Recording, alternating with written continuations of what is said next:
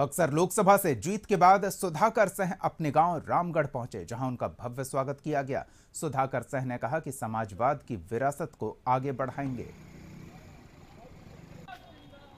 महत्वपूर्ण क्षेत्र में ही हूँ घर पहुँचा हूँ। हमारी जो विरासत है समाजवाद का विरासत हमारे किसानों की जो विरासत है छात्रों की पढ़ाई का विरासत है उसको हम लोग आगे बढ़ाएँगे।